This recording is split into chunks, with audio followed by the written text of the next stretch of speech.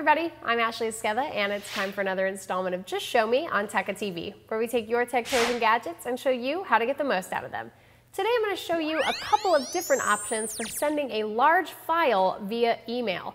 Now, a lot of free email services like Yahoo, Hotmail, or Google have a file limit on what you can send. For example, Google has a limit of 25 megabytes per email. What if you want to send something like a family movie that you shot that's well over that 25 megabyte limit?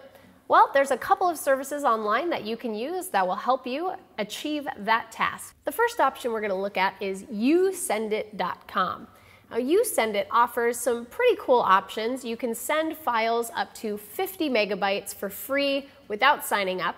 If you want storage up to two gigabytes, you can actually sign up for their free trial. There are also other bells and whistles like verifying recipient identity, premium delivery and receipts, all those different kinds of things, but they are subject to extra fees. Some of them, like the Pro and Pro Plus plan, have things like Dropbox integration if you really use Dropbox a lot and want to email things a little bit easier. Now, the second one we want to look at is transferbigfiles.com. And one of my favorite parts about transferbigfiles.com is you can drag and drop files directly into the browser.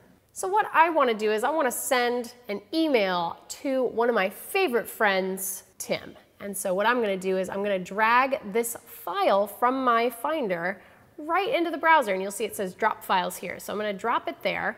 And you can see this is a 60 megabyte file, so it's pretty big and definitely not something I could send regularly in Gmail. I'm going to add my recipient.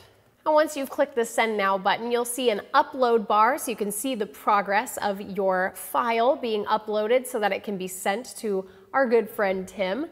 And it will say upload was successful, a notification has been sent to the recipient.